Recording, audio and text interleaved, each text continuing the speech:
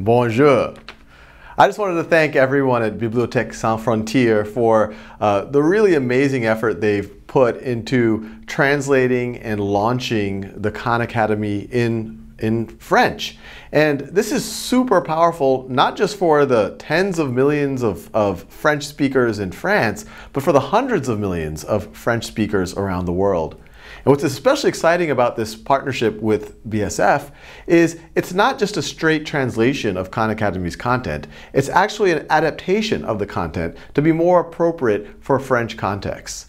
And to get an idea that, that, uh, of the impact that's already happening due to this translation work, we've recently found out that there's a, a pilot, a study going on in Cameroon, where they've taken 257 uh, K through 12 students, and they've seen that those who are using the French translations that BSF has created have had an almost 14% improvement in their actual grades. So already uh, uh measurable impact and it, and it shows where this can go as we as we reach more and more millions really hundreds of millions of, of students I also want to thank the Orange Foundation for funding Bibliothèque Sans Frontières for making all of this possible. It wouldn't have been possible without them.